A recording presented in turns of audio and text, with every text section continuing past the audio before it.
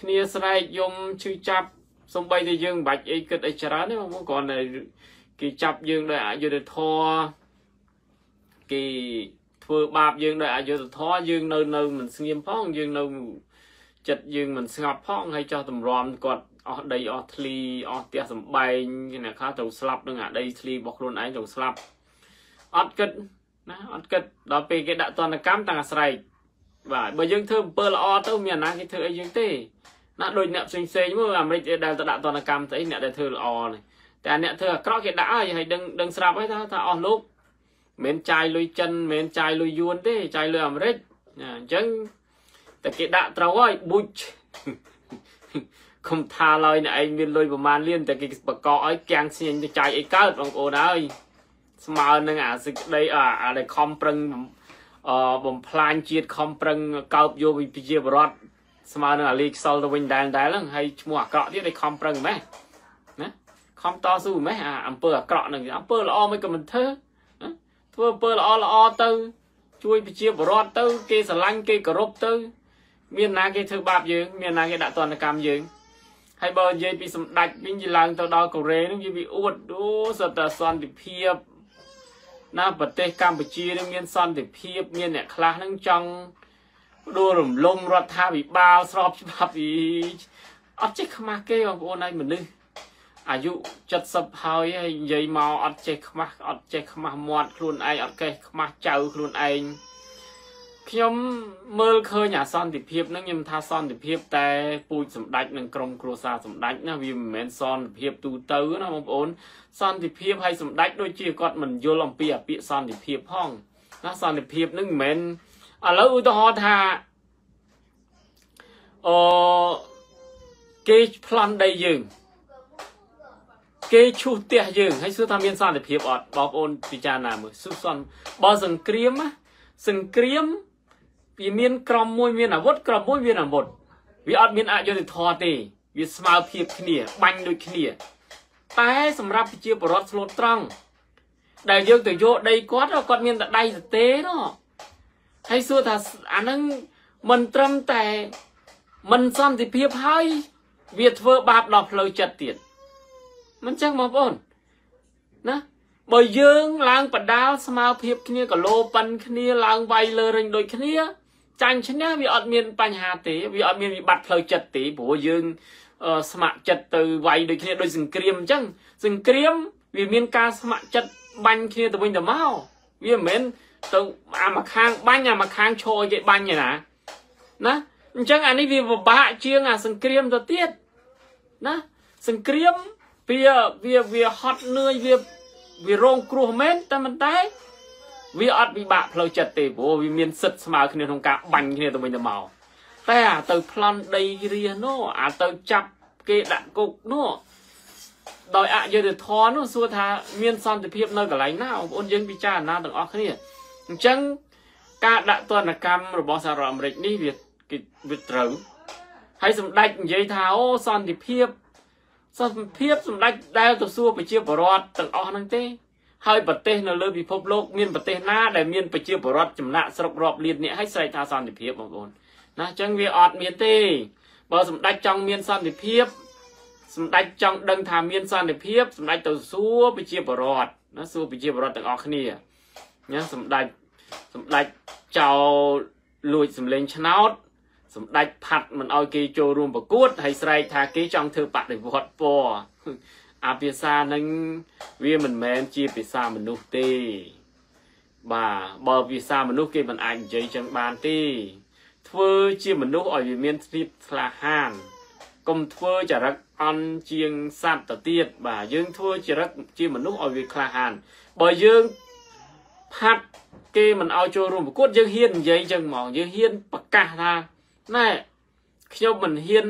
ខ្ញុំនឹងបិទមិនឲ្យពួកឯងអ្នកឯងហ៊ានប្រកួតទេហើយអ្នកណាចង់ធ្វើអីធ្វើយើងទៅអាហ្នឹងអាហ្នឹងបានគេហៅថាអ្នកជាមនុស្សជាកីឡាករបាទហើយដល់ពេលយើងទៅបង្ខំគេទៅចាប់គេមិនឲ្យគេចូលរួមប្រកួតហើយស្រែកថាអឺគេចង់ធ្វើអឺបដិវត្តពណ៌អីឯណាឯណីអាហ្នឹងវាវាវាខុសបាទវាខុសវាអត់ត្រូវណាវាមិនសមថែតមិនសមផលបាទអញ្ចឹង អអឺខ្ញុំមិនមានអីវែងឆ្ងាយទេបាទគ្រាន់តែសូមផ្ដាំទៅសម្ដេចថា ពេលដែលមុនសម្ដេចកាន់មីក្រូស្រែកថាសន្តិភាពអឺសម្ដេចចៅតាំងពីអ្នកអូកូនហ្នឹងទៅសួរប្រជាពលរដ្ឋសិនបាទតើគាត់ទទួលយកទេអាសន្តិភាពរបស់សម្ដេចហ្នឹង ប៉ុន្តែខ្ញុំមើលឃើញថាអសន្តិភាពហ្នឹងវាមានសម្រាប់តែពូជសម្ដេចនិងក្រុមបពពួកសម្ដេចទេមួយចំនួនទេប៉ុន្តែសម្រាប់ប្រជាពលរដ្ឋនៅរងថ្ងៃនេះសំបីយើងសំបីតែអ្នកលក់ដូរក៏ដោយដែលទៅប្លន់តូបប្លន់អីគាត់ហ្នឹងអាហ្នឹងសួរថាគាត់មានសន្តិភាពក្នុងចិត្តទេអត់ទេគាត់មិនរងគ្រោះដោយក្របមែនប៉ុន្តែអាចិត្តគាត់ទៅសន្តិភាពតលវាស្ងប់តលវាអត់មានការពីអ រំលោភបំពេញរោងនៅអយុធធរអាហ្នឹងបានវានេះអញ្ចឹងសូមឲ្យទៅមើលអំពី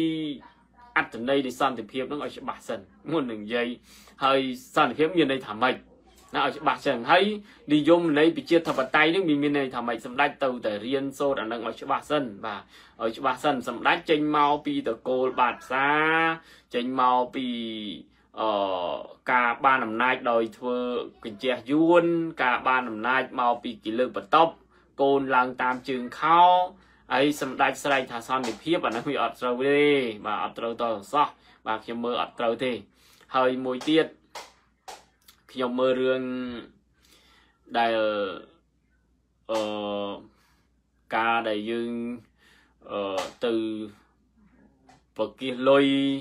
ដើម្បីធ្វើផ្លូវ ណាហើយស្រែកថាស្នេហាជាតិអានឹងសម្ដេចទៅមើលគោលការណ៍ឲ្យច្បាស់សិនបាទកុំចេះតែនិយាយកុំចេះតែថាអូអ្នកមិនចូលលុយអានឹងស្មើនឹងអ្នកមិនស្រឡាញ់ជាតិអានឹងទៅមើលគោលការណ៍ឲ្យច្បាស់សិនគោលការណ៍នៃការដឹកនាំគេមិនដែលដឹកនាំបែបលលីលលាអញ្ចឹងទេ បាទព្រោះអីព្រោះប្រជាពលរដ្ឋទាំងអស់គឺទៅបងពុនជូនរដ្ឋអញ្ចឹងរដ្ឋមានកាតព្វកិច្ចយ៉ាងម៉េច រដ្ឋត្រូវមានកាតព្វកិច្ចដើម្បីអភិវឌ្ឍប្រទេសជាតិដើម្បីធ្វើផ្លូវហើយការបងពុននឹងអត់មានយកទៅធ្វើអីក្រៅពីធ្វើផ្លូវធ្វើសាលារៀនធ្វើមន្ទីរពេទ្យអីហ្នឹងទេវាអត់មានអីក្រៅពីហ្នឹងទេព្រោះបងពុនដើម្បី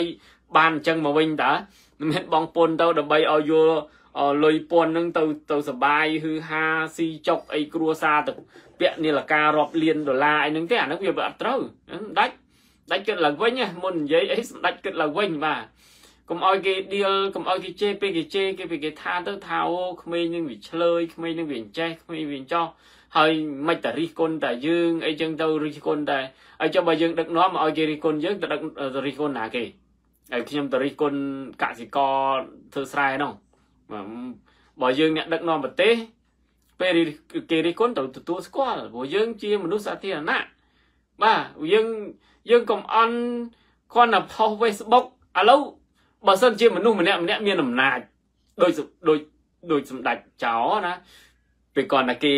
ខមមិននៅក្នុង Facebook ចាប់គេដាក់គុកមិនចឹងណាឥឡូវអញ្ចឹងបើសិនជាមនុស្សទាំងអស់ហ្នឹងចរិតដូចលោកហ៊ុនសែនអញ្ចឹងពេលគេខមមិនចាប់ដាក់គុកអញ្ចឹងអស់សំបីតែអ្នកខមមិនយ៉ាត់ព្រមជេរយ៉ាត់ព្រមអញ្ចឹងចាប់ដាក់គុកអស់អញ្ចឹងហើយអ្នកផ្សេងផ្សេងទៀតចាប់ដាក់គុកអស់បាត់ហើយណាអញ្ចឹងវាអត់ត្រូវវាអត់ត្រូវទៅសោះបងប្អូន យើងមិនមែនខ្លួនយើងអាងមានអំណាចណាហើយយើងធ្វើអីបានចុះគេនោះមនុស្សដូចគ្នាមិនមិនឆ្កែណាមនុស្ស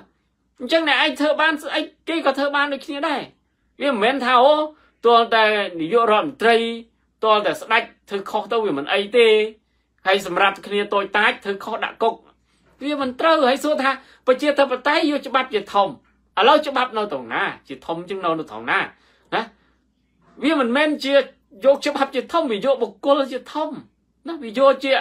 ហើយម្នាក់ម្នាក់ហើយខ្ញុំខ្ញុំឃើញពួកអឺប៉ូលីសពួកអាមេគេហៅពួកអាមេធំធំណាក្រាក់ក្រាក់ដែលការពារតកូលហ៊ុនពួកអ្នកកាន់ក្រសួងអីមួយមួយណាគេស្រែកមកអូគេបដិញ្ញាការពារតកូលហ៊ុនណាហើយមានសួរបងបងកងទ័ពដែលនៅតាមព្រំដែនហ្នឹងពេលដែល អស់លោកឯងនិយាយថាអូការបដិញ្ញាការពារតកូលហ៊ុនសួរថាតកូលហ៊ុនបដិញ្ញាការពារពួកគាត់ទេពេលខ្លះធ្វើបំរើជាតិបំរើរើមកវិញគេយកដីអស់នោះហ៎ហើយទៅការពារពួកគាត់ទេពេលដែលពួកគាត់ប្រពន្ធកូនគាត់អត់មានអង្គច្រកឆ្នាំងណាប្រាក់ខែមិនដឹងឯណាណីរស់មិនមិនមិនទាំងសក់នឹងបានផងហើយរឿងអីយើង ក្រលហេមលហាមមកការពារអាអ្នករស់នៅសុខស្រួលមានលុយទ្រព្យពួកវាពួកអាអ្នកស្រែកហ្នឹងបងប្អូនពួកអាអ្នកស្រែកអញ្ចឹងណាពួកពួកមន្ត្រីខ្ពស់ខ្ពស់ធំធំទាំងអស់ហ្នឹងស្រែកអញ្ចឹងពួកហ្នឹងបើសិនជាហ៊ុនសែនដួលពួកហ្នឹងវាវាត្បល់ក្បាលរត់មកជ្រោកមុនគេខ្ញុំប្រាប់បងប្អូនមុនគេមកគឺពួកហ្នឹងរត់មកមុនគេពួកហ្នឹងស្រែកដើម្បីអីដើម្បីប្រយោជន៍ ដើម្បីប្រយោជន៍មិនមែនដើម្បីអីទេព្រោះពួកនឹងស្រែកបានប្រយោជន៍ចុះអាយើងប្រជាពលរដ្ឋសាមញ្ញអឺប៉ូលីសទាហានតូចតាចសួរថាពេលដែលយើងស្រែកថាអូយើងបដិញ្ញាការពារតកូលហ៊ុនទាំងខ្លួនឯងបំណុលវ័នកទាំងខ្លួនឯងប្រពន្ធកូនអត់មានកច្រកឆ្នាំងអានោះយើងគិតមិនគេស្រែកថាការពារតកូលហ៊ុនគេមានលុយ ដូចហ៊ីងមិនហៀងអីគេកោកអង្គរៈវណ្ណចៅគេកើតមកលុយគេរាប់លានណាអឺក្បាលពោះស្អុយដេកស្រួលស៊ីស្រួលណាអាហ្នឹងគេស្រែកទៅវាត្រូវហើយព្រោះវាស្រួលចុះយើងយើងតូចតាចណាដូចគ្រូបង្រៀនមន្ត្រីរាជការនោះប្រាក់ខែប៉ុណ្ណឹងសួរថារស់បានទេអត់បានទេខ្ញុំប្រាប់ ប្រាក់ខែ1លានជាងហ្នឹងអត់បានទេណាបើគ្មានការរោគទទួលទានផ្សេងផ្សេងទៀតគឺរស់អត់បានទេបងប្អូនគិតទាំងអស់គ្នាប្រាក់ខែ1លានជាងហើយហើយឲ្យគាត់ទៅរស់មិនធ្វើគ្រូបង្រៀនហើយកតាបកិច្ចគ្រូបង្រៀនពេលដែលយើងមានឈ្មោះថាគ្រូបង្រៀនត្រូវតែបង្រៀនណាមិនគ្រូបង្រៀនពេលដែលបង្រៀនបង្រៀនរត់ទៅស្ទូងរត់ទៅច្រូតស្រូវរត់ទៅអីអត់ទេអាហ្នឹងវាខុស វិជ្ជាជីវៈបាត់ទៅហើយណាវាខុសវិជ្ជាវិជ្ជាទៅអញ្ចឹងគិតឡើងវិញសម្ដេចណាសម្ដេចសម្ដេចគិតឡើងវិញសម្ដេចចោលសម្ដេចគិតឡើងមុននឹងយើងនិយាយសន្តិភាពយើងទៅសួរប្រជាពលរដ្ឋសិនថាប្រទេសនឹងមានសន្តិភាពពិតប្រាកដអត់ជាបរដ្ឋនឹងមានសន្តិភាពក្នុងចិត្តអត់ហើយស្គាល់យមន័យឲ្យសន្តិភាពនឹងឲ្យច្បាស់ហើយខ្ញុំផ្ដាំទៅមន្ត្រី ដែលមិនទាន់រងទណ្ឌកម្មទោះបីជាបងប្អូននៅខំប្រឹងការពារហ៊ុនសែនប៉ុណ្ណាក៏ដោយវាគង់តែអស់ពីខ្លួនទេអស់ពីខ្លួនហើយអស់កិត្តិយសទៅទៀតអញ្ចឹងទាន់ឱកាសនៅមានអាមេរិកគេអត់ដាក់ម្ដងទាំងអស់ទេព្រោះអីព្រោះគេទុកឱកាសឲ្យមន្ត្រីទាំងអស់ហ្នឹងកែខ្លួនអ្នកដែល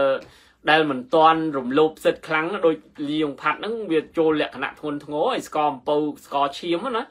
គេដាក់ទណ្ឌកម្មហ្នឹងគេចាប់ផ្ដើមដាក់មួយអញ្ចឹងទៅគេគេគេចាំមើលពួកមន្ត្រីផ្សេងផ្សេងទៀតអញ្ចឹងបើយើងនៅតែបដិញ្ញាការពារតកូលហ៊ុនអនាគតទៅគេដាក់ទណ្ឌកម្មគេបកកទ្រព្យសម្បត្តិអស់អាលីងដែរហ្នឹងអំបិលដែរហ្នឹងហើយនៅហើយខំបានប្រយោជន៍អីហើយប្រជាពលរដ្ឋជេរពេញទឹកពេញដីអញ្ចឹងចាប់ផ្ដើមកែខ្លួនមកចាប់ផ្ដើមដោះខ្លួនទៅណាដោះខ្លួនចេញទៅ ដើម្បីឲ្យទី1គឺយើង មានកិត្តិយសណាហើយអាទ្រព្យសម្បត្តិចេញមកក្រៅប្រទេសហ្នឹងខុនសែនមិនអាចបកកបានទេខុនសែនបានតែរឹបអូសទ្រព្យសម្បត្តិតែនៅក្នុងប្រទេសទេអញ្ចឹងយើងសុខចិត្តបាត់បង់អាទ្រព្យសម្បត្តិនៅក្នុងប្រទេសទេចុះដើម្បីស្ដារកិត្តិយសមុខមាត់យើង ជួយទៅដល់ប្រទេសជាតិយើងអាហ្នឹងខ្ញុំគ្រាន់តែឲ្យពិចារណាទេណាធ្វើមិនធ្វើអាហ្នឹងរឿងរបស់ខ្ញុំជឿចិត្តថាអាមេរិកនឹងដាក់ទៀតហើយគ្រាន់តែផ្ដាំថាពួកអស់លោកមិនមែនចាយលុយយួនទេមិនមែនចាយលុយចិនទេ អស់លោកចាយលុយអាមេរិកអញ្ចឹងតែអាមេរិកកកឲ្យបង្កកឲ្យគឺកាំងស្ញញហើយទៅទៅចាយអីចេញណាតែបង្កកឲ្យស្ញញហើយណាលុយស្មើនឹងกระដាស់ជូតមាត់បានហ្នឹងបាទអញ្ចឹងគិតឡើងវិញទៅណាគិតឡើងវិញទៅទាំងបើថាឃើញសម្ដេចពីអ្នកអូកូននឹងនៅតែទៅជិះរឹងរូសអាហ្នឹងរុញថែមទៅរុញថែមទៅណាហើយមានបងប្អូនយើងមួយចំនួនក៏ខមមិន គាត់ថាពួកយើងនឹងនិយាយដើម្បីចង់ធ្វើបដិវត្តពណ៌បាទអញ្ចឹងអត់ណាបើសិនជាបងនិយាយអញ្ចឹងពួកខ្ញុំវាផ្លូវវាទៅអញ្ចឹងហើយខ្ញុំអត់មានបកាយទៀតទេព្រោះវាអស់នឹងកែហើយយើងអស់នឹងថាអូចុះឥឡូវផ្លូវយើងមានបោះឆ្នោតហើយបើផ្លូវទៅបោះឆ្នោតទៅអត់រួចផងមានតែធ្វើបដិវត្តហ្នឹងឯងណាមានតែ មានតែងើបទាំងអស់គ្នាតតស៊ូឲ្យយើងសុខចិត្តដេកស្លាប់ហើយខ្ញុំសួរបងប្អូនសុខចិត្តដេកស្លាប់អីបើយើងរើយើងអាចណាយើងគ្រាន់តែយកសេរីភាពយើងទៅបដូរណាយើងគ្រាន់តែយកជីវិតណាហើយវាមិនដែលបើយើងងើបខ្ញុំជឿថាវាមិនដែលងាប់ទាំងអស់គ្នាទេ ណាវាមិនដែលទេហើយក៏វាមិនដែលស្លាប់ឯណាដល់ហួសហេតុពេកដែរអញ្ចឹងការធ្វើវាមានវាចំណាយហើយវាមិនថាមិនចំណាយទេខ្ញុំជឿថាវាកាលណាយើងធ្វើវាចំណាយហើយហើយបើយើងចំណាយដើម្បីប្រទេសជាតិយើងហើយបើយើងមិនធ្វើក៏ងាប់ដូចស្មៃខ្មែរក្រហមហ្នឹងមើលឃើញបងប្អូនអត់រើឃើញងាប់ងាប់អត់ប្រយោជន៍ងាប់អត់បានកាយទាំងអស់ណាហើយចុះបើយើងរើយើងរើអាចមាន មានសង្ឃឹមច្រើនណាយើងរើយើងអាចមានសង្ឃឹមច្រើនអញ្ចឹងបងថាអូពួកអ្នកឯងនិយាយនឹងដើម្បីឲ្យមានបដិវត្តពអូខេខ្ញុំចង់បានអានឹងដែរតាខ្ញុំចង់បានអានឹងព្រោះបងប្អូនយើងខមមិនថាអូមានតែសុំអាមេរិកសុំកំភ្លើងទៅបាញ់ទេខ្ញុំថាបងប្អូនគិតអញ្ចឹងគឺមិនខុសទេហើយក៏មិនត្រូវដែរព្រោះអីព្រោះសង្គ្រាមវាអត់ងាយចប់ទេ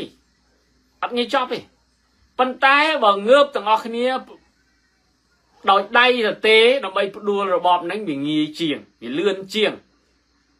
ណាដូចបងក្លាដេសគេធ្វើតែមួយខែទេអាលំទៅចោះយើង យើងដល់មួយខែអត់ដល់ទេខ្ញុំហ៊ានធានាបាទអត់ដល់មួយខែទេរបបក្រុងភ្នំពេញអត់ដល់មួយខែទេណា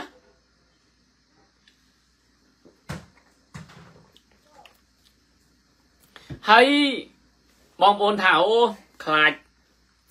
ខ្លាចយើងធ្វើទៅយួនវានៅក្រោយខ្នងបាញ់បងប្អូនតើរួចទេតើរួចទេយួនហ៊ានលូកដៃហ៎គេដឹងទាំងអស់ផ្កាយរណបគេចាប់បានទាំងអស់បងប្អូនផ្កាយរណបថ្ងៃមុនឃើញគេលោកអ៊ុំសំអានអាដាមអ៊ុំសំអានផុសអាផ្កាយរណបចាប់ជនជាតិយួននៅក្នុង នៅក្នុងចំការកស៊ូជនជាតិយួននៅក្នុង បឹងទលេសាបគេចាប់បានទាំងអស់តិន្នន័យនៅក្នុងប្រទេសកម្ពុជាគេចាប់បានទាំងអស់បងប្អូនលាក់គេអត់បានទេចង់ហើយចង់ទៅជ្រោកក្រោមដីប៉ុណ្ណាក៏ដោយណាហើយដូចលោកហ៊ុនសែនអញ្ចឹងបងប្អូនថាអេមិនក៏អាមេរិកក៏មិនព្រមធ្វើលោកហ៊ុនសែនតែម្ដង អង្គការសហជាតិធ្វើតែម្ដងបងប្អូន នៅលើលោកនេះគ្មានអ្វីបានដោយយើងអត់ធ្វើអីទេ ដែលយើង